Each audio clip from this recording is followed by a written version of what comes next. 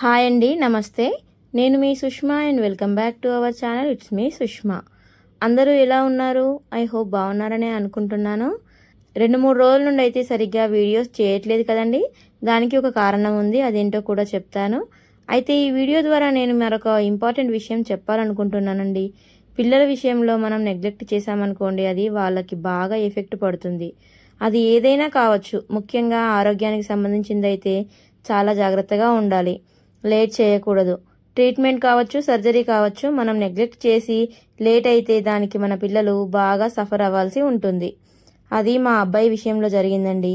మేము లేట్ చేసి సరైన డెసిషన్ తీసుకోకపోవడం వలన మా బాబు హెల్త్ విషయంలో చాలా సఫర్ అయ్యాడు. అది వాడికి మెంటల్గా ఫిజికల్గా రెండు విధాలుగా కూడా ఇబ్బంది పడ్డాడు. అయితే ఏమైందంటే అసలు వాడికి సర్జరీ చేయించాల్సి వచ్చింది. అది సర్జరీ అంటే అడినాయిడ్స్ అండి ఇంకా టాన్సిల్స్ రిమూవ్ చేసే సర్జరీ. అడినైడ్స్ అంటే ముక్కు లోపల దుర్మాంసం పెరగడం అంటాం కదా.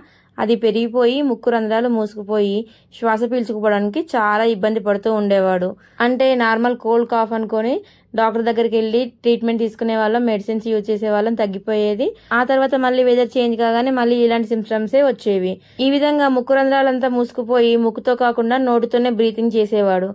అది పిల్లలకు చాలా ఇబ్బందిగా ఉంటుంది కదండి. పిల్లలకే కాదు అసలు పెద్దవాళ్ళకైనా కూడా నోటితో శ్వాస పీల్చాలంటే ఇబ్బందే కదా. దానివల్ల నోరు ఎప్పుడూ డ్రై అవుతూ ఉంటుంది.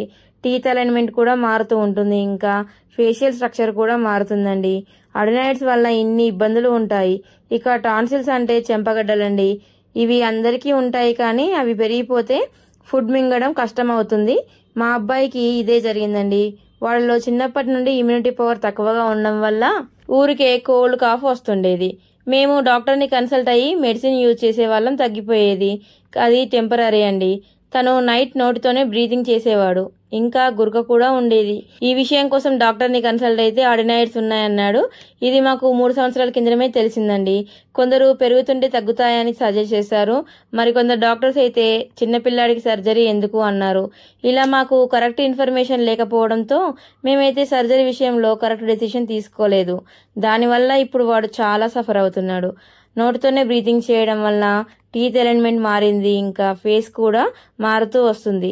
ఫైనల్గా ఇప్పుడైతే కరెక్ట్గా డాక్టర్ని సజెస్ట్ చేశాడు. మేము కూడా కరెక్ట్ డెసిషన్ తీసుకున్నామండి. మా బా మా బాబుకి ఫస్ట్ చెకప్ కోసం డాక్టర్ శ్రీనివాస్ కిషోర్ అపాయింట్మెంట్ తీసుకున్నాము. ఈయన ఏజీ హాస్పిటల్స్లో ఈఎన్టీ డైరెక్టర్ మేము వన్ మంత్ ముందు అపాయింట్మెంట్ తీసుకుని డాక్టర్ని కన్సల్ట్ అయితే సిటీ స్కాన్ బ్లడ్ టెస్ట్లు చేసి అడినాయిడ్స్ వల్ల నైన్టీ పర్సెంట్ ముక్కు రంధ్రాలు క్లోజ్ అయిపోయాయని చెప్పారు. టాన్సిల్స్ కూడా ఉన్నాయి. అడినైట్స్ వల్ల నోస్ బోన్ కూడా బెండ్ అయిపోతుంది. సో ఆపరేషన్ చేసి రిమూవ్ చేయాలి అని చెప్పారు. మెడిసిన్స్తో అవ్వదని కూడా అన్నారు. మాకు ఆయన చాలా క్లియర్గా ఎక్స్ప్లెయిన్ చేశారండి. ప్రాబ్లం ఏంటి? ఎలా వచ్చింది? ఇంక ఎలా తగ్గించాలి? మళ్ళీ రాకుండా కూడా ఏం చేయాలి? ఇవన్నీ చాలా బాగా చెప్పారు. ఇంతవరకు కూడా ఏ డాక్టర్ ఇలా చెప్పలేదు. అప్పుడే మేము డిసైడ్ అయ్యాము ఇంకా సర్జరీ చేయించాలని. మళ్ళీ డాక్టర్ సర్జరీ కోసం అపాయింట్మెంట్ ఇచ్చారండి. అప్పుడు సర్జరీ చేసేశారు. చిన్నవాడు కదా సర్జరీ అంటే ఎలా అని భయపడ్డాం కానీ అసలు బ్లడ్ ఒక్క చుక్క కూడా లాస్ అవ్వకుండా లేజర్తో కోఆబ్లేషన్ మెథడ్లో సర్జరీ చేశారు. సర్జరీ కోసం ముందుగా చేయాల్సిన టెస్టులు చేసి మార్నింగ్ హాస్పిటల్లో అయితే అడ్మిట్ అయ్యాము. వన్ అవర్లోనే సర్జరీ అయ్యింది. అసలు డాక్టర్ సర్జరీ చేసింది టెన్ మినిట్సే కానీ బిఫోర్ ఆఫ్టర్ సర్జరీ ప్రొసీజర్ ఉంటుంది కదా అందుకే వన్ అవర్ పట్టింది. సర్జరీ తర్వాత ఫోర్ అవర్స్ అయితే అబ్జర్వేషన్లో పెట్టారు. ఆ తర్వాత రూమ్కి షిఫ్ట్ చేశారండి. సర్జరీ తర్వాత వాడికి ఇచ్చిన ఫుడ్ ఏంటో తెలిస్తే మీరందరూ షాక్ అవుతారు. నేను కూడా షాక్ అయ్యాను. అది అందరికీ ఇష్టమైన ఐస్ క్రీమ్ అండి. సర్జరీ అయిన వాళ్ళకి ఐస్ క్రీమ్ ఇస్తారా అంటే ఈ ఒక్క సర్జరీకి ఆ ఫెసిలిటీ ఉంది. ఎందుకంటే సర్జరీ అయ్యాక నొప్పి రాకుండా సూతనింగ్ కోసమని సాఫ్ట్ ఫుడ్ ఐస్ క్రీమ్స్ ఇస్తారట. ఓన్లీ టూ త్రీ డేస్ మాత్రమే ఇవ్వాలి. ఆ తర్వాత మాత్రం అస్సలు తినకూడదు. అడినాయిడ్స్ మళ్ళీ పెరగవు కానీ టాన్సిల్స్ మాత్రం వస్తాయంట. సో ఈ ప్రాబ్లం ఉన్న వాళ్ళు చాలా జాగ్రత్తగా ఉండాలి.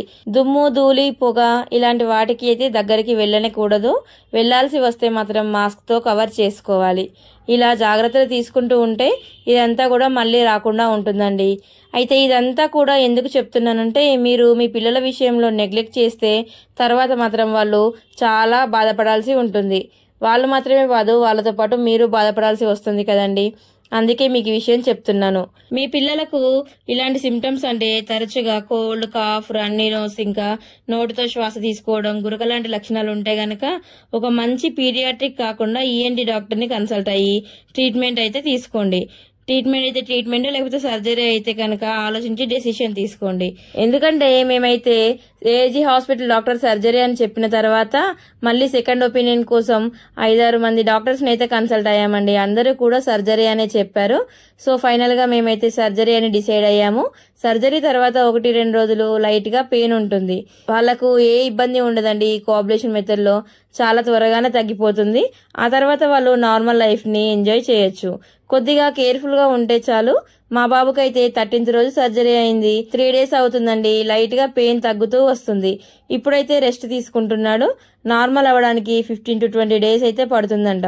సర్జరీ చేయించడం వల్ల వాడికి ఫ్యూచర్లో బ్రీతింగ్ ప్రాబ్లమ్స్ లాంటివి ఉండవు ఇంకా. హాయిగా ముక్కుతో గాలి పీల్చుకుంటాడు ఇబ్బంది పడాల్సిన అవసరం కూడా లేదు.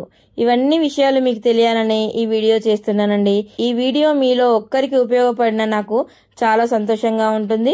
మీ పిల్లల విషయంలో ఆలోచించి సరైన నిర్ణయం తీసుకొని వాళ్ళకి ఆరోగ్యకరమైన జీవితాన్ని అందించండి. మీలో ఎవరికైనా డాక్టర్ శ్రీనివాస్ కిషోర్ గారి అపాయింట్మెంట్ కావాలనుకుంటే కామెంట్ చేయండి. నేను తప్పకుండా రిప్లై ఇస్తాను.